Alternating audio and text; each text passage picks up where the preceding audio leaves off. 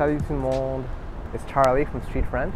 And today we're going to be talking about how long it takes to get fluent in French. And I'm also going to talk to you about someone that I met that spoke French really well after like one year of study. It was crazy. So I'm here on Ile Saint Louis, right by Notre Dame. It's not looking so good today, but yeah, that fire was about a year ago. It was crazy.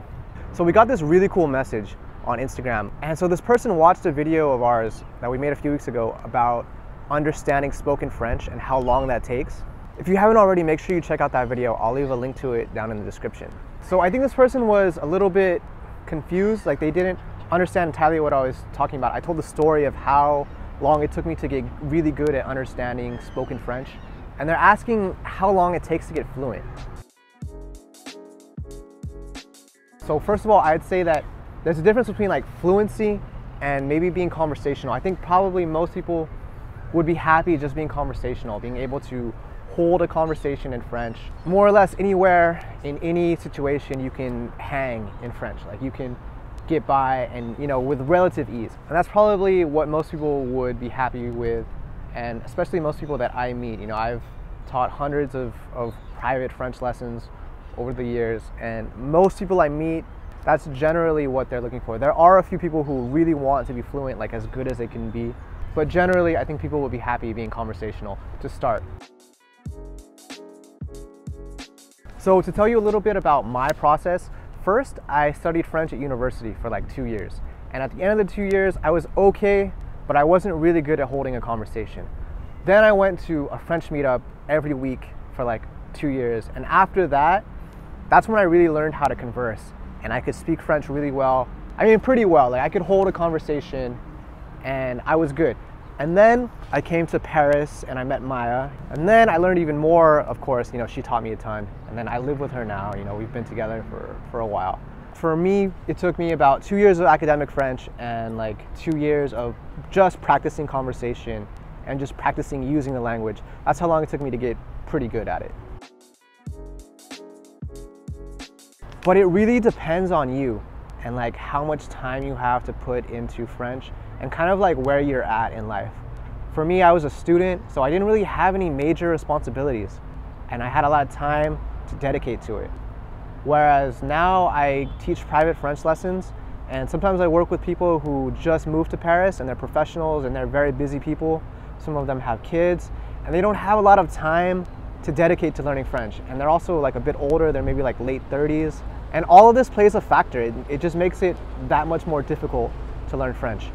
And I also teach people who are like retired, and I find that they tend to have a, a difficult time learning French in a lot of ways, especially if they're like in their 60s or something, and it's like their first time learning a second language. It, you know, it can be tricky. So my advice is, if you're a student right now, really take advantage of, of the time that you have to, to learn a language because when you get older, when you have a job and you have bills and you know your life becomes like a bit more serious. You know, you don't have as much time to dedicate to learning a language. I mean, that's at least that's what I find with the people that I work with. So the other thing is that I find people tend to only focus on like academic French. They don't practice using it. They don't practice improvising in the language. And that's why when they get into a conversation with someone, that's why they struggle so much because they don't practice it enough.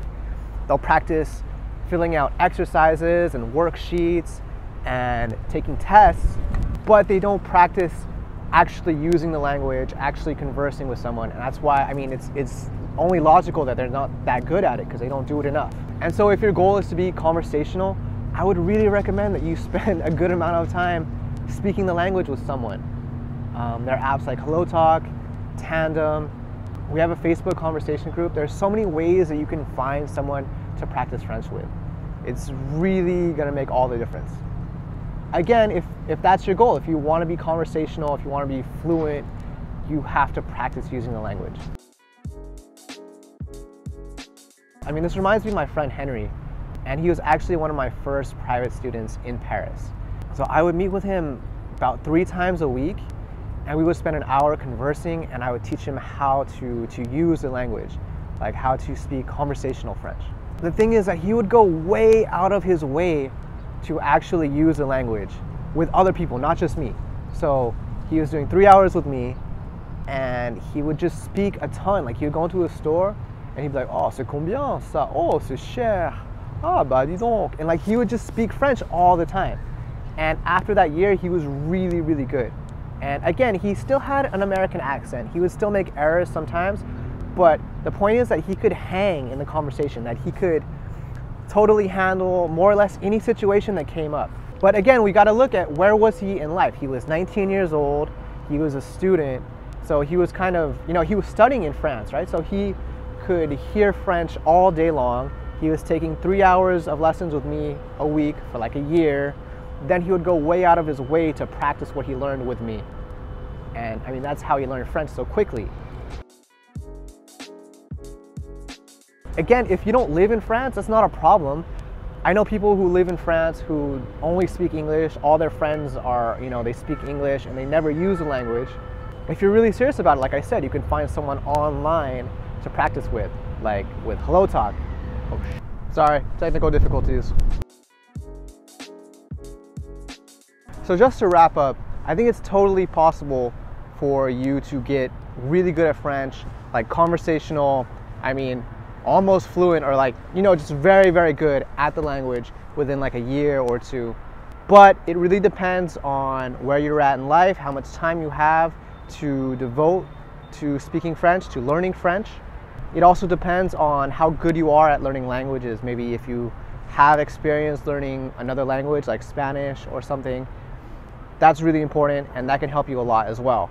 So again, thank you so much for asking that question on our Instagram. If you want, go ahead and check us out on Instagram. We post daily. We're always posting cool stuff, cool new videos, things to help you learn conversational French. If you want to get better at French and you want to find some French speaking friends and learn some techniques that you can use, go ahead and try our free e-course at streetfrench.org. It's free and we'll show you how you can find someone to practice with and what kind of techniques you can use with them. If you enjoy what we do, please consider supporting us on Patreon. We have almost 60 patrons, I think, on there right now. It's really cool. Thank you all so much for supporting us. You know, our patrons really make this project possible and we have a good time over there. We have a secret Patreon group chat. Don't forget to subscribe, like, and share with your friends. Please, it really helps us a lot. We have almost 60,000 um, subscribers on YouTube. Yeah, thank you all. It really means a lot to us. If you have any questions, let us know down in the comments below. Okay? Salut.